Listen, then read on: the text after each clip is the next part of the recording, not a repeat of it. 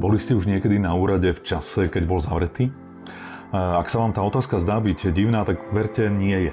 Často máme na úrady čas práve vtedy, keď sú zavreté. Ale oni v elektronickom styku zavreté nikdy nie sú.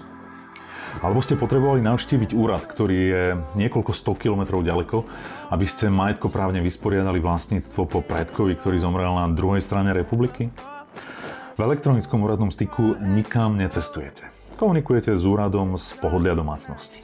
No a potom sú tu zákonné poplatky.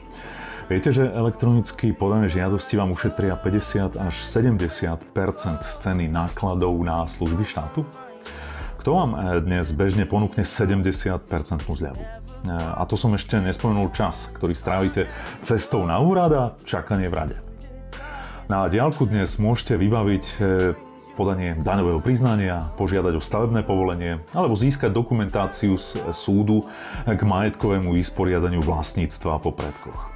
Pozývam vás na webinár, respektíve kurz, ako využívať elektronickú komunikáciu s úradmi.